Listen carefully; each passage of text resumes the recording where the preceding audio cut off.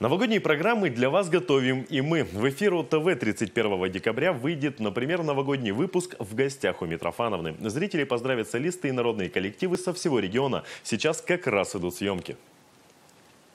И все готовы поздравить вас с Новым годом!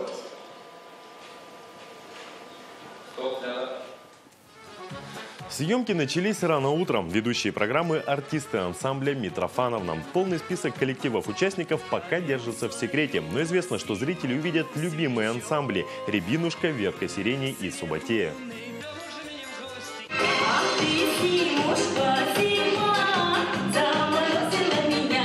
Наши артисты всегда стараются выучить какие-то новые песни. Повторяться-то не хочется. Поэтому вся программа будет абсолютно новые песни. Э, Ну, большинство, конечно, что-то про зиму, ну и про любовь. А все вместе мы все нашу любимую песню споем. «Никто тебя не любит так, как я». Программа выйдет в 9 утра 31 декабря на телеканале ОТВ. Напомню, передача «В гостях у Митрофановны» – это преемница народной программы «Искры камина», которая стала самой рейтинговой передачей телеканала ОТВ.